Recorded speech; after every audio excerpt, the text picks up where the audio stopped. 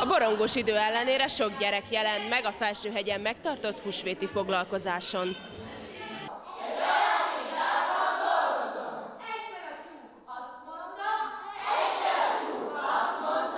A program kezdetén a gyerekek közösen verseltek és táncoltak.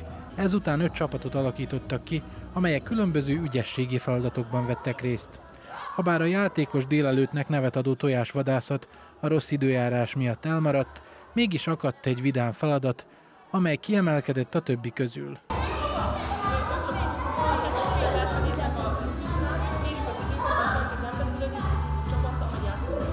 Jó éreztem magamat, meg a múmiás tetszett legjobban azért, mert akkor be kellett csavarni az egyik embert a, a papírral, és múmiát játszottunk. Nekem mindegyik tetszett, de legjobban a múmiás. Az esemény szervezője a Felsőhegyi Önkéntes Központ volt, akik nagyon örülnek, hogy húsvéti rendezvényük ilyen népszerű, hogy még az eső sem tartotta vissza a gyerekeket. Főként az iskoláskor előtt is az iskolás gyermekeknek szerveztünk programokat, főként játékos vetélkedőket, ami magába foglalja az akadálypályát, különböző kreatív és logikai versenyeket, valamint a kis gyerekeknek tudunk biztosítani kézműves foglalkozásokat, hogy a kedvük van, akkor ők is tudnak csatlakozni a játékokhoz.